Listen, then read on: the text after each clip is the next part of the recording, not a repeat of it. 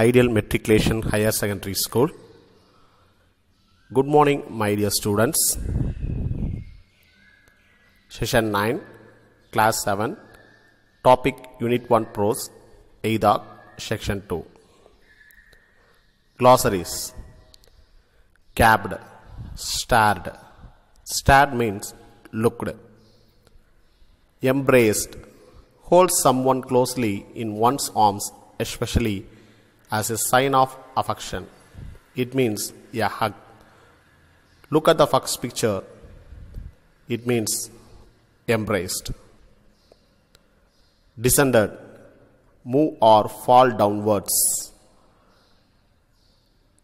Merry-go-round, a revolving machine with model horses or cars on which people ride for amusement. It means a fun ride. Look at the second picture. It means merry-go-round. Mounted, climb up. Miserable, unhappy or uncomfortable. Smack your lips, open and close lips noisily to show enjoyment. Relished, enjoyed or took pleasure in the taste. It means enjoy the taste. First passage. Soon the roads began to get crowded. Some people were on tongas and ekkas. Some in motor cars, all wearing perfume, all bursting with excitement. The children were a calm and contented lot. For village children, everything in the town was wonderful. Whatever caught their eye, they stood and gaped at it with wonder. At last, the Eidgah came into view. There were row upon row of worshippers as far as the eye could see. Newcomers lined themselves behind the ones already there. Tongas and Ekkas means look at the pictures. The horse ride is called Tongas and Ekkas. The author conveys the roads began to get crowded. Some people were going on Tongas and Ekkas. Tongas and ekkas means horse cart. In ancient days, people used this cart for transportation. Somebody went on motor cars. They were all applying sweet perfume and very eagerly with excitement. The children were calm and watched the wonderful town decorated beautifully. The children, whatever they saw, they stood and looked with wonder. Finally, the egg came into view. The worshippers and the newcomers stood in a row. Next passage. The prayer was over. Men embraced each other. They descended on sweet and toy vendor stores like an army moving to attack. There was a merry-go-round with wooden elephants and horses and camels. You paid one paisa and had 25 rounds of fun. Mahmud and Mohsin and Noore and other boys mounted the horses and camels. In this passage, the author says, Now the prayer had came to an end. All of them hugged each other with happiness. After that, they entered the sweet shop and toy stores. The shop became crowded like soldiers moved to attack an, another army.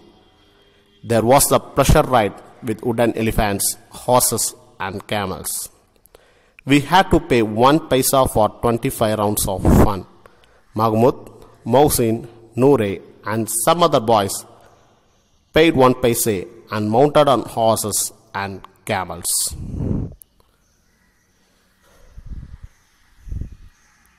Next passage. Hamid watched them from a distance. All he had were three paisas. He couldn't part with a third of his treasure for a few miserable rounds. They were soon done with their rides. Then it was the time for the toys.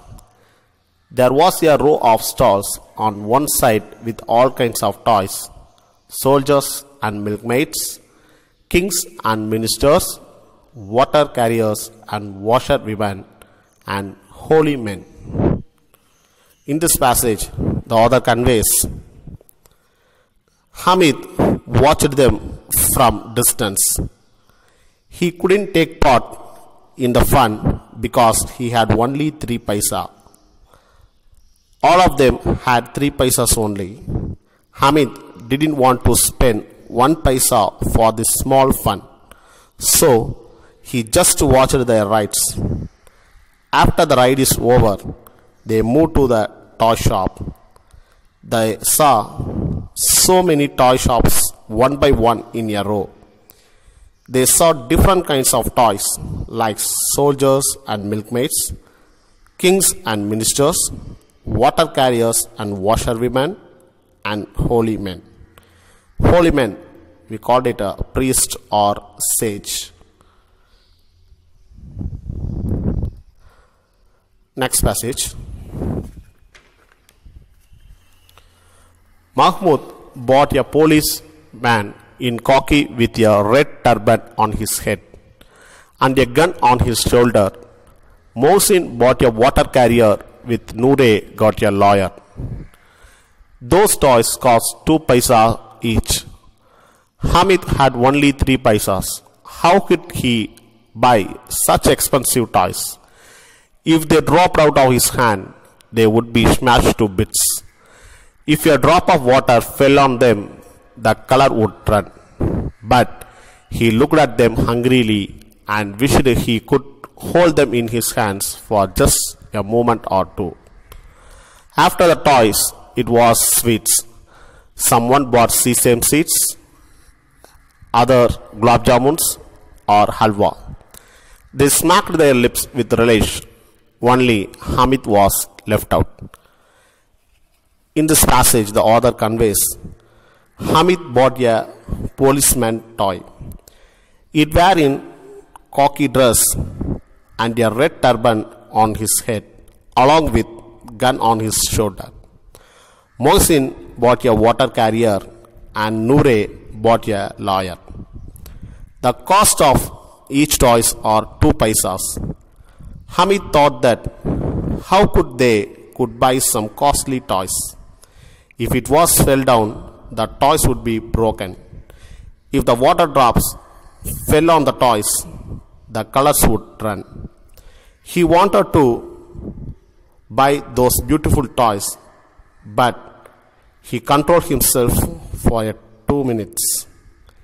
He didn't buy any toys at last. Then they moved to sweet shop. His friends bought sesame candy, gulab jamuns, and halwa. They enjoyed the taste of sweets. But Hamid never bought sweets too. He still stood there and looked at them.